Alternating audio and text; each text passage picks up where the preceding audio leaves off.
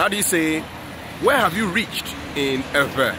Hi, welcome to the class. Now, where have you reached in Ewe is Afika neɖo. Afika neɖo. Afika neɖo. Afika is where, and do means to have arrived or to reach. So, Afika neɖo. Afika neɖo, where have you reached? Keep practicing, share this video. I'll see you in the next class. Thank you. Akpe.